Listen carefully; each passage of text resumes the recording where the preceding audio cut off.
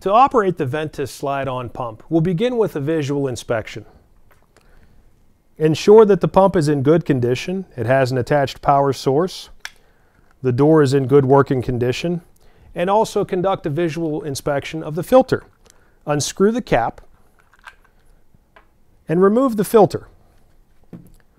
Once the filter is removed, you can inspect it for damage or any type of contamination. If the filter is in good condition, reinstall it. Ensure that the white filter media is facing up or out of the pump and reinstall the cap. We'll also conduct a visual inspection of our sampling tube, making sure that we have a filter installed and attached to the end of our sampling tube and that it's in good repair. Once I've inspected the sampling line and the instrument, I can attach the two, install the sampling tube onto the filter cap, ensure that we have a nice good seal, and we've got a good continuous path that's in good repair. Power on the pump by pressing and holding the power button for three to five seconds.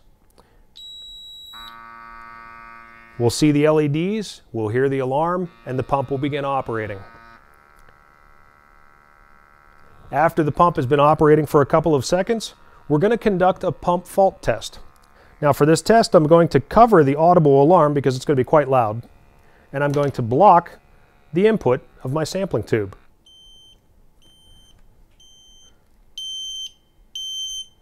By going into alarm, it ensures that the sampling path that I have is tight and that nothing will actually prevent that from blocking.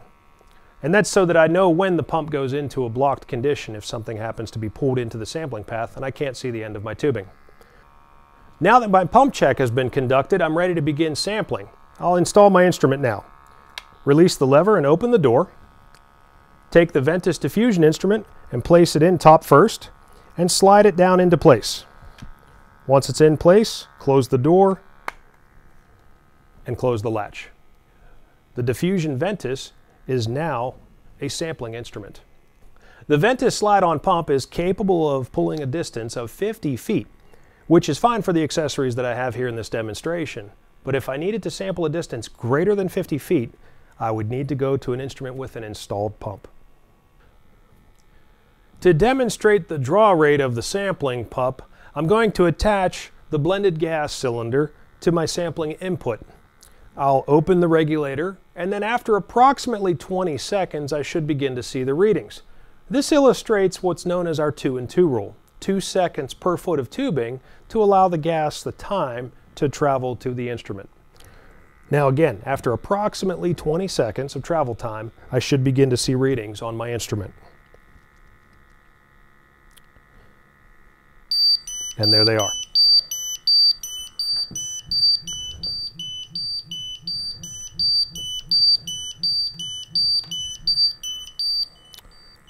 Will silence my alarm by placing my thumb over the alarm opening and allow that gas to continue to be pulled through the pump to clear it from the sampling line and then ultimately be diffused into the instrument.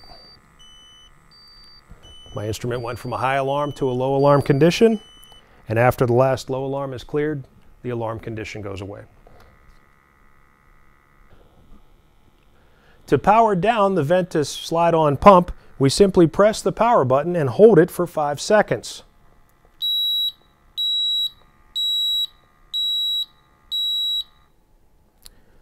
After it finishes the countdown, the pump powers off and we can now remove our instrument. Close the door, return it to our charging device so that it's ready for the next use.